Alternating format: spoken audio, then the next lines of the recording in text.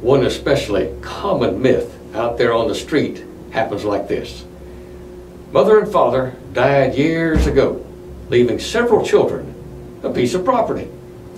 Several years later, I get a visit from the last of those children still alive who wants a deed into his name alone. He's the last survivor. The last one gets the property. Right, Mr. Lawyer? Unfortunately, that may be the, the barbershop law. That is not the way the law of North Carolina works. Belief in beauty parlor law can cost you a lot of worry, a lot of time and money. This scenario is a nightmare.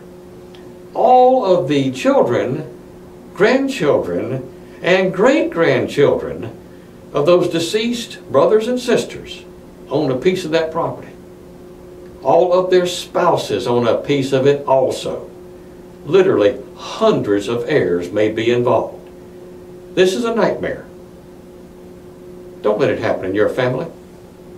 In nearly 40 years of law practice, I have successfully handled hundreds of effective estate plans. My job is to take care of my clients. Call me.